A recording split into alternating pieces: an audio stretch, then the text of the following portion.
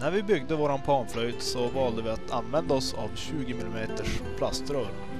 Dels på grund av att vi skulle få in mindre plaströr i dem och dels på grund av att deras innerdiameter är ungefär 17 mm som är ganska vanligt bland panflöjtstillverkare.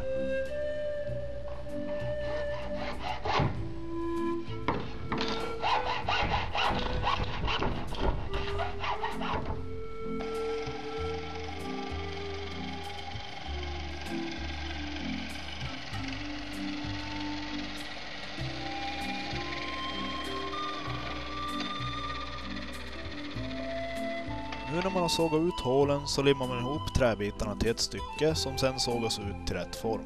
Och det kompletteras med ett handtag. Testa sätt den mot den här biten ska vi se hur den ser ut. Men det, det har ingen betydelse. Ja men alltså på... Wow, beautiful.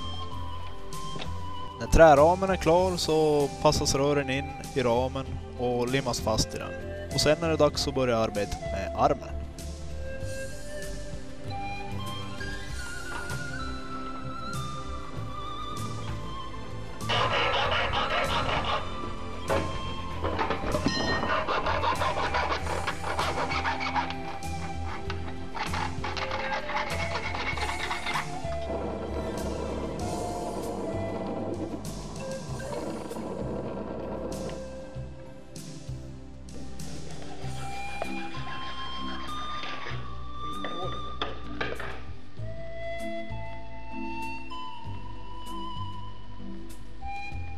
Blir det bra?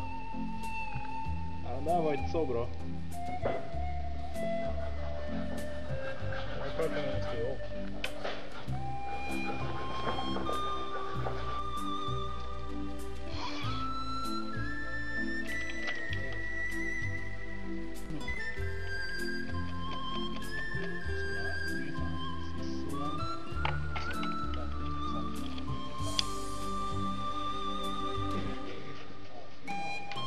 Arbetet fortskrider. Simon ska fixa till så att de går smärtfritt.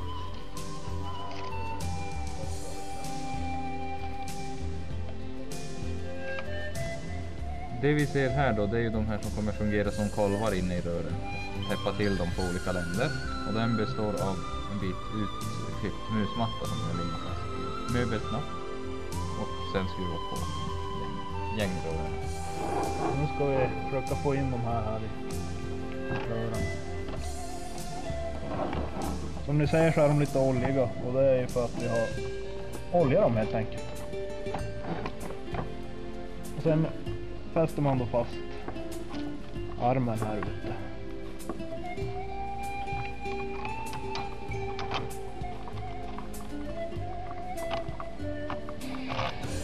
Wow.